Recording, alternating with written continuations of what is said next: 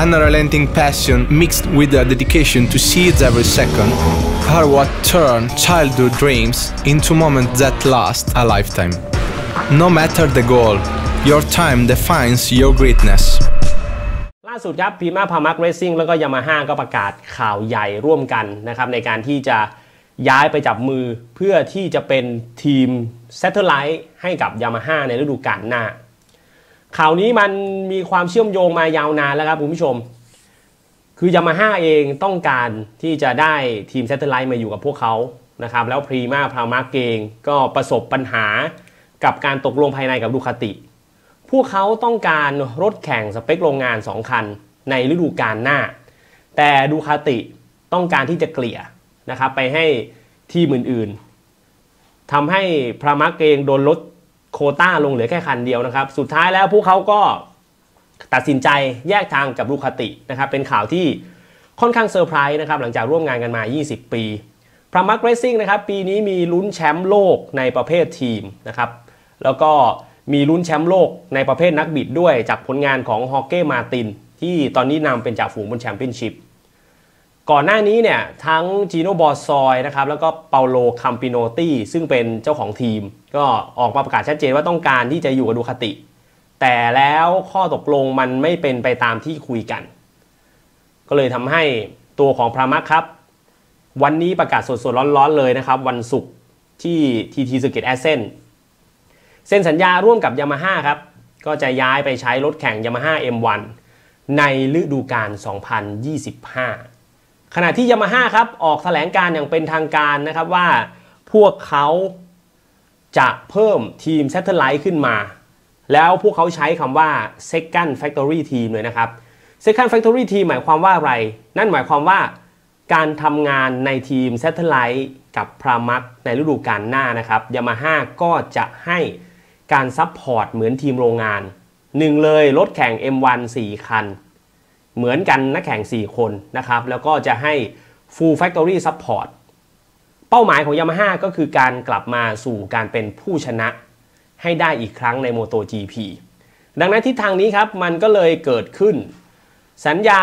ยังไม่แน่ว่าจะกี่ปีนะครับ เพราะยังไม่มีการประกาศออกมา แต่ที่แน่ ๆ ครับไซมอน แพตเตอร์สันซึ่งเป็นนักข่าวที่เกาะติดในวงการ MotoGP อยู่ มีการแจ้งมานะครับว่าน่าจะ 7 ปี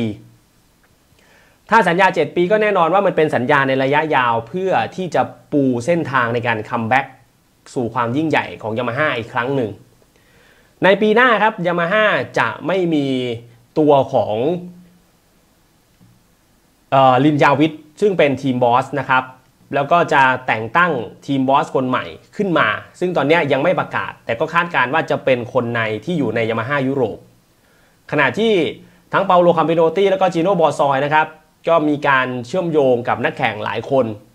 ยามาฮ่าไม่ได้ต้องการเพียง Pramac Racing นะครับยามาฮ่า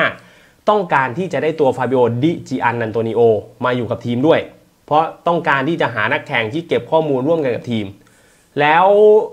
ยามาฮ่าเองนะครับในแถลงการณ์ต้องบอกว่า line up นักแข่งของพวกเขาจะมีการประกาศเร็วๆนี้นะครับ โดยเฉพาะในทีม Satellite ก็คือ p r a m a c Racing ขณะที่ อเล็กวินเองก็ยังไม่ได้ต่อสัญญากับยามาฮ่าแต่มีการพูดคุยกันในเบื้องต้นแล้ว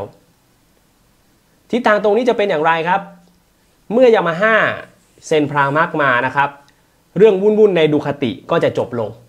นะครับ มันมีเรื่องของเรื่องของโควต้ารถที่มันกักกันอยู่ พอมาอยู่แบบนี้นะครับพรามัคเองจะต้องมาเริ่มต้นใหม่กับยามาฮ่าแล้วเส้นทางของพวกเขาหลังจากนี้เนี่ย จะได้รับความสำคัญจากยามาฮ่าอย่างมาก ขณะที่ยามาฮ่าเองครับก็เริ่มที่จะเห็นความหวังในการพัฒนารถนะครับ วันนี้เนี่ยมีการเปลี่ยนแปลงแผนต่างๆ ในการทำงานเยอะมากนะครับ แล้วก็ได้เครื่องยนต์ใหม่มาให้กับทั้งอเล็กซ์วินหนึ่งหนึ่งคน ให้ไปหนึ่งเครื่องนะครับ ใส่ในรถแข่งที่ 2 คันเนี่ยแต่ว่าคันหนึ่งเป็น เครื่องยนต์เก่า อีกคันนึงเป็นเครื่องยนต์ใหม่ เช่นเดียวกับฟาบิโอกอตาราโรนะครับ แต่ก็คาดการว่าน่าจะยังไม่ได้ส่งลงแข่งขันในวันในสุดสัปดาห์นี้นะครับ นั่นก็เป็นความเคลื่อนไหวของยามาฮ่าแล้วก็พรีม่าพรามัคเรซซิ่งที่ได้เอามาฝากกันนะครับ เป็นเรื่องราวที่ค่อนข้างจะรวดเร็วนะ การประกาศในวันนี้แล้วก็หลายคนก็อาจจะมองว่าจะเกิดขึ้นได้หรือเปล่าดีลนี้ แล้วมันก็เกิดขึ้นจริงนะครับ การตัดสินใจของดูคาติที่เลือกเซ็นสัญญากับมาร์คมาร์เกซมันก็เลยทำให้ทุกอย่างที่พวกเขาวางไว้เนี่ยมันมันเหมือนมันผิดล็อกไปหมดนะครับ คือคำที่ผิดล็อกเนี่ยหมายความว่าคือหลายคนอาจจะบอกว่าเป็นการไปโทษมาร์คมาเกสทำให้ดูคาติรวน แต่ไม่ใช่นะครับ จริงๆแล้วดูคาติเองเนี่ยก็ต้องการตัวมาร์คมาเกสนะครับ คนที่ตัดสินใจ ขั้นตอนสุดท้ายจากรายงานมานะครับ ก็คือเคลาดิโอโดเมนิคาลีซึ่งเป็น CEO ของดูคาตินั่นเอง เพราะจากแผนเดิมนะครับ คือดูคาติเนี่ยมี master plan ต้องการนะครับให้ฮอร์เก้มาร์ตินขึ้นสู่ทีมโรงงาน แล้วก็ต้องการให้มาร์คมาเกสบิดกับพรามัคเรซซิ่งแต่มาร์คมาเกสไม่เอาครับมาร์คมาเกสไม่อยู่พรามาร์กถ้าเกิดจะให้รถโรงงานเขาเขาขออยู่เกรซินี่ดีกว่า สุดท้ายนะครับดูคาติเปลี่ยนใจในวันนั้น พอก้าวเข้าสู่การแข่งขันที่มูเจโลเนี่ยเราจะเห็นภาษาร่างกายหรืออะไรต่างๆ ของฮอกเก้มาตินเนี่ยเปลี่ยนแปลงไปเยอะ แล้วก็แน่นอนครับการประกาศสิ้นสุดนะครับช่วง 3 สัปดาห์ที่ผ่านมาเนี่ยข่าวเยอะมาก ข่าวในการเซ็นสัญญานักแข่งนะครับ มันก็เลยทำให้ทุกอย่างเนี่ยเปลี่ยนแปลงไปค่อนข้างเยอะ แต่ที่แน่ๆคือยามาฮ่าปีหน้าครับ มีรถแข่ง 4 คันแล้ว มีข้อมูลเต็มเป้า ที่จะช่วยให้พัฒนารถแข่ง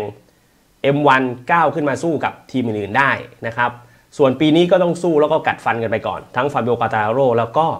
อเล็กซ์รินส์รวมไปถึงมอนสเตอร์ยามาฮ่าด้วยนะครับ นั่นก็เป็นเรื่องราวนะครับล่าสุดของพรามัคเรซซิ่งแล้วก็ยามาฮ่านะครับที่มีการเซ็นสัญญาอย่างเป็นทางการเมื่อสัก